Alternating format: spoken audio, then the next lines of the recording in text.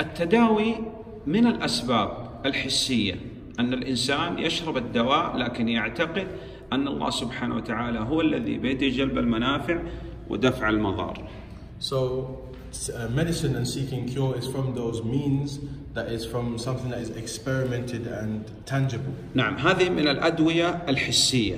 These are from the tangible medications. الادويه ال- ال- الشرعيه الرقيه الشرعيه.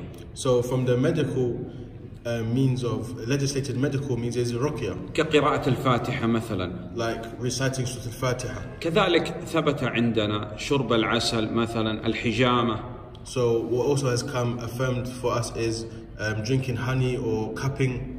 يتعاطى هذه الأسباب ويعتقد أن أسباب ويطلب من الله سبحانه وتعالى So, a person takes these means and believes that they are means from Allah subhanahu wa ta'ala.